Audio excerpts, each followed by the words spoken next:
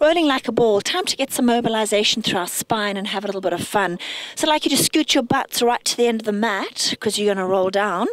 You're going to lift your legs and hold on to, well, in the middle of your leg really, or anywhere that's comfortable.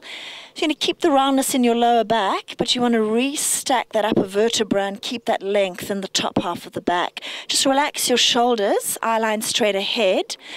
Now, for the first time, we're just going to place our fingertips on the mat for support. So you're going to breathe in through your nose, tuck your chin, and roll back, laying each and every vertebra on the mat, coming onto the top of your back. Exhale, fingers stay on, and we're going to roll back. Keep your knees bent and using the fingertips, just lift up and come back to that seated position. So let's try that again. Breathing in, belly strong. Let's roll back. Scoop the ab as you go back, coming onto the top of the back. Now, if you need to support your back, just place your hands at the back of your hips. Now, you need to make sure your weight is not on your neck. So don't do this because I'm now on my neck and you might find it quite difficult to breathe. So you want to make sure that weight's the top of the shoulders. And to test that, you can just nod your chin into your chest. Fingers back on the floor. Inhale. And let's scoop down. Exhale. And up you come. Let's try that one more time. Breathing in. Tuck your chin. Pull the belly firm. And let's roll back. Coming onto the top of the back. Make sure you're not on your neck.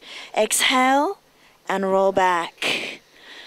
So now let's give it a go if you're feeling comfortable, just placing the hands on the legs without the support of the fingers, but feel free to use the hands if you need to.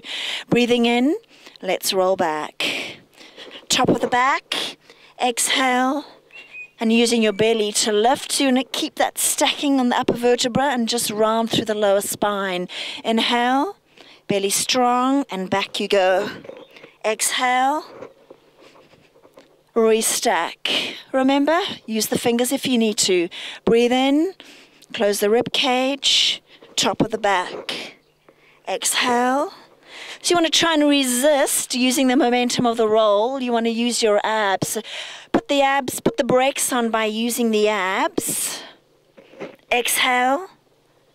And back you come. So how about three more? Breathing in. Top of the back exhale.